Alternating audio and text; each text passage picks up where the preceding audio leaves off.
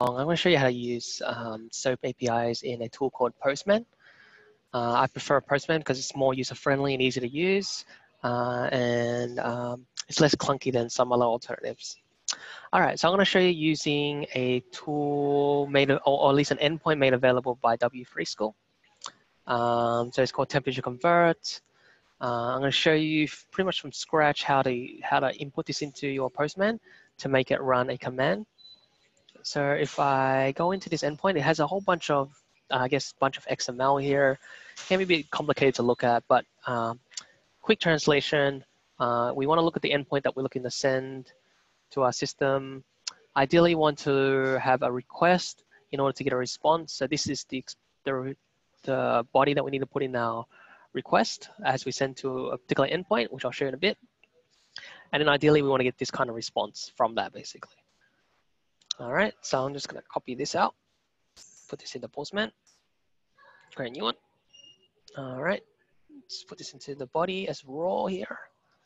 And we want it to be XML. Change this figure to say 10 Celsius. Uh, and then what I wanna do is have this endpoint. In this case, it just happens to be the link that they used above, but this can really vary, this endpoint.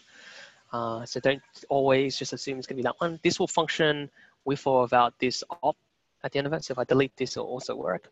Uh, but I'll just leave it as that for now, just to show you.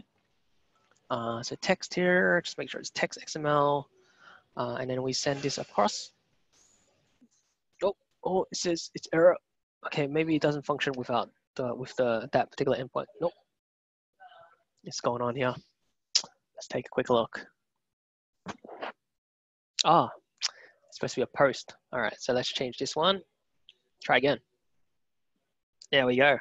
So make sure this is post, as you just saw then, it didn't work. Now you can see here it comes out with uh, 50 degrees uh, Fahrenheit because that's the output that we converted the Celsius to. Uh, but that's pretty much how you run uh, a SOAP API in Postman. All right, just let me know if you have any questions. Um, ping me on the comments. Cheers.